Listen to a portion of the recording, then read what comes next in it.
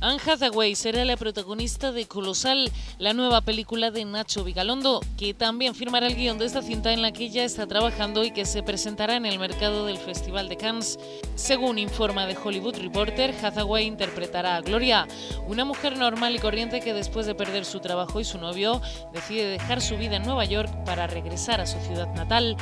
Pero cuando los medios informan de que un lagarto gigante está destruyendo la ciudad de Tokio, Gloria llega poco a poco a darse cuenta que a través de su mente está conectada de forma extraña con estos acontecimientos. Una historia típica marca de la casa del director de los cronocrímenes y extraterrestre que define la cinta como el proyecto más ambicioso de su carrera y para él asegura que tener a Anne y a este fabuloso equipo va más allá de sus expectativas.